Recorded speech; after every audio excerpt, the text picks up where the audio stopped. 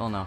But um, today what I'm going to be doing is sort of like a tutorial on how to actually replace cars in your garage. So, like, once you, I can't really explain it, but once your garage is full, then you might think, you know, that's it, that you can't get rid of any, you can't sell.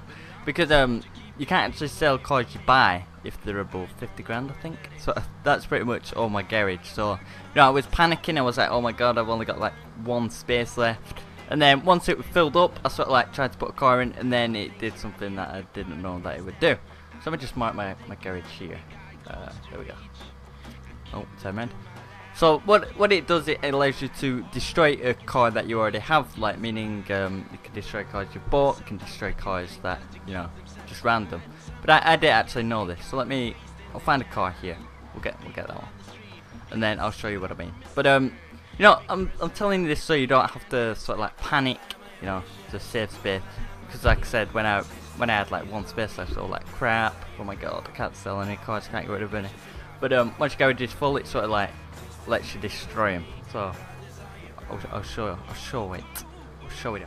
So now we're at the garage. Once I go and like try and put it in, it'll say your garage is full. As you can see, garage must be replaced in your garage store your current vehicle and then just press OK. As soon as you press OK you have to get rid of a car or the car you're in will get destroyed. So that's a bit of a, a bit of a bummer. I don't think I don't know if this works with um you know if you buy a car from the websites and then it like sort of asks you to destroy it. I'm not sure if that works or not. I actually tried that. I'm gonna try it because I'm actually gonna buy the Ferrari because I have 200k which I was saving up for all last night. Oh my god, it took ages.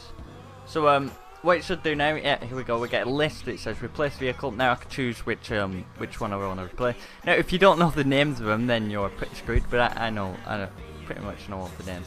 The Elegy is the, the Nissan over there, the um, red one, fuck one, top right. But uh, as you can see here, Stinger GT which is destroyed. Now this was really weird, it's sort of like, it duplicated it. I'm not really, it was, it was really, really weird. But um, that's that's the Stinger GT, that red one, right in the middle, right there as you can see. But um, if I just press A on that, then you'll be able to see if you want to replace vehicle, and then it'll go right there. Like I said, it was destroyed. So that's really about it. It's very simple, so you don't have to panic when you have like one space left.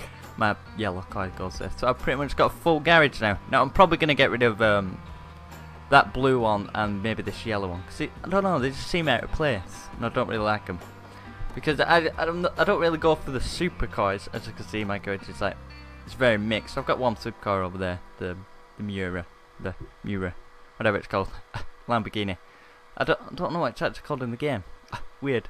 But uh, if you enjoyed the video, it helped you out. Remember to hit that like button, subscribe if you're already not, and I'll see you guys next time.